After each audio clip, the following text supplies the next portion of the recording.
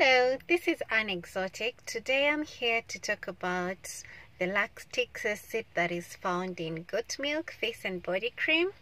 This product, the first ever in Kenya.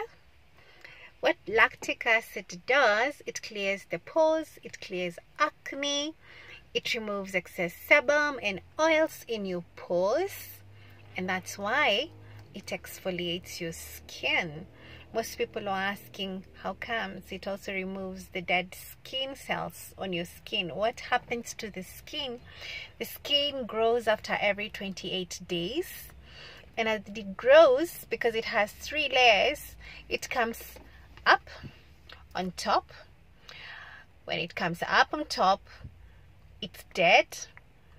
And then it has to be eliminated by either a scrub or any product used that has an exfoliant.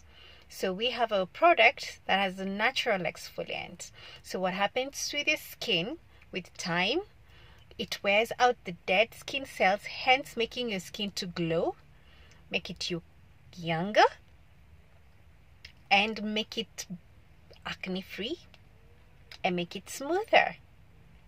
I thought you'd know more about lactic acid keep on for the next one. We'll talk about something else that is found in our product goat milk face and body cream. Have a good evening